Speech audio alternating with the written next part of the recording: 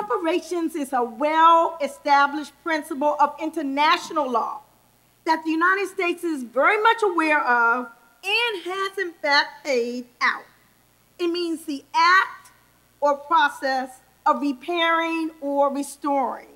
It is payment for an injury, redress for a wrong done.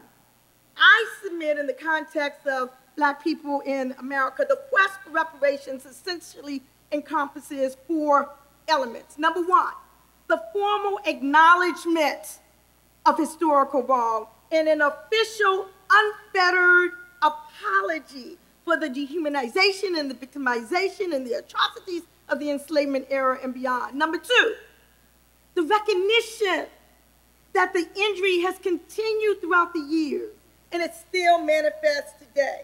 Number three, the commitment to redress by the federal government, which sanctioned the enslavement and the subsequent de facto and de jure discrimination uh, against blacks by corporate entities, by religious institutions, by academic institutions, by private estates, which enjoyed unjust enrichment from the era. And number four, the actual compensation in whatever form or forms are agreed upon.